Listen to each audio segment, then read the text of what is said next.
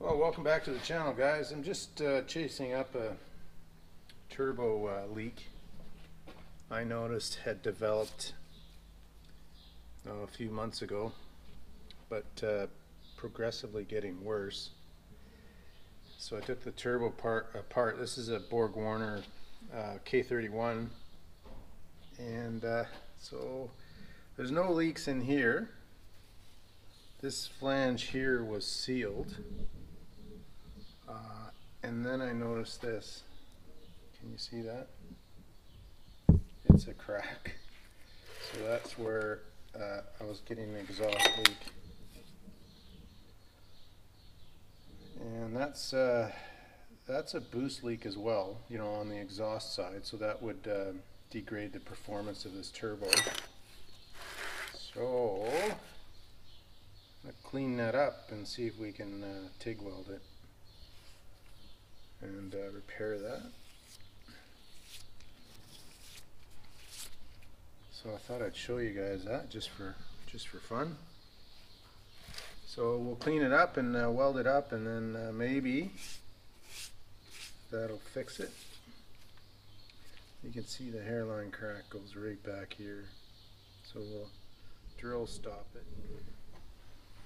Yeah, so you can see the crack there. so we'll uh, attempt to TIG weld on that and see if we can fix it. Alright, I've got it cleaned up. Uh, stop drilled the crack.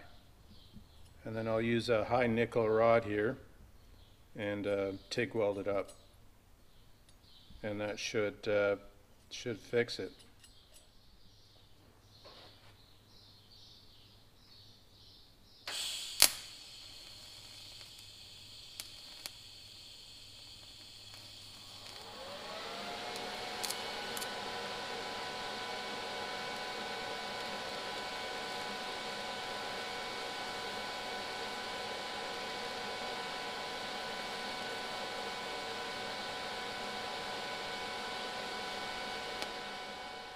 Yeah, that looks like a a casting flaw or possibly uh, erosion. It's hard to say.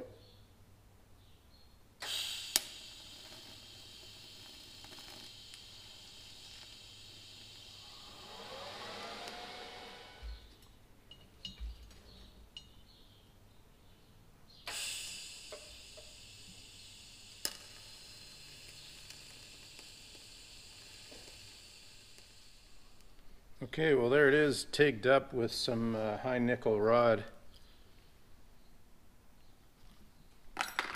And uh, it turns out that this, um, I'm not sure what's going on here, if it's er- erosion or just a poor casting.